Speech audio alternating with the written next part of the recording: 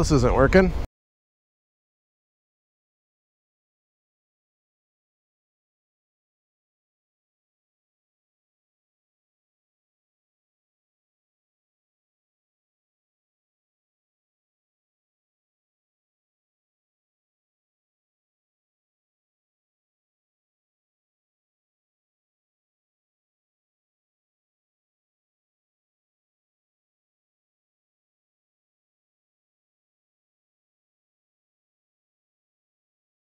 All right, well, good morning, everybody. We are in Baltimore this morning.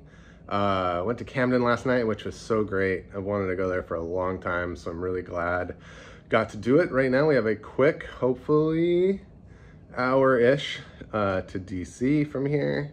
And we're gonna wrap up our six games in six days, seeing the Nationals and the Phillies in a late afternoon game, 4.30. So yeah, had a nice morning, kind of walked around the inner harbor and got some good coffee, saw some dogs, and yeah, now I'm ready to get down to DC.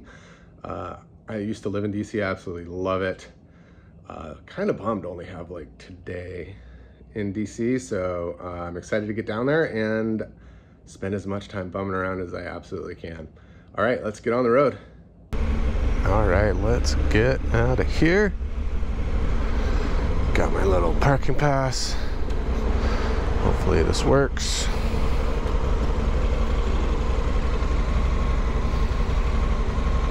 Come on.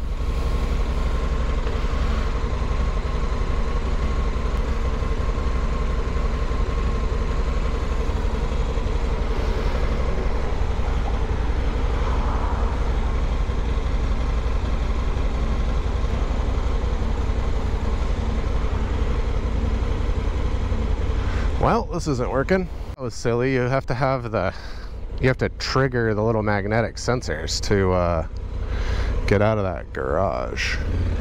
Which is a bummer because that means a motorcycle probably is never going to get in or out uh, that way. But we figured it out. We're on our way. I uh, really enjoyed Baltimore. I mean, we kind of stayed in the Inner Harbor, which is like the touristy part of town. We, I. Oh, there's Camden right there. Look at that. That's fun. Uh, I stay kind of in the Inner Harbor touristy area, but I kind of walked down in here this morning for coffee and uh, it was nice. I think people hate on Baltimore. Much like people hate on Philly, but there's a lot to like here. And I think it's like half the price to live here than DC and probably a third the price in New York. So it does have that going for it as well. What a beautiful day. What a beautiful day. I'm really excited to get down to DC.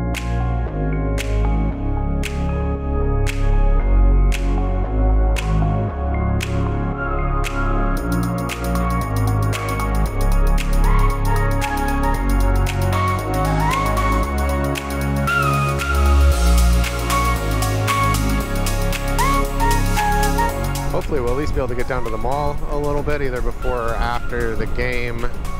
Uh, seeing the monuments at sunset is one of the most underrated things to do in this town, and every time I'm back, I try and do it.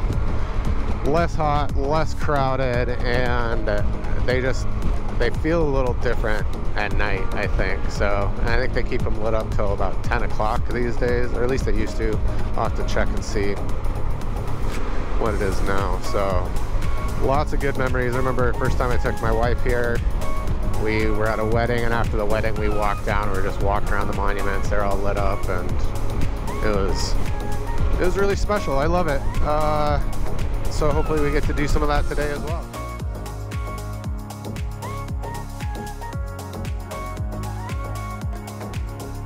Well, there's something going on in the mall right now. I'm trying to get down there.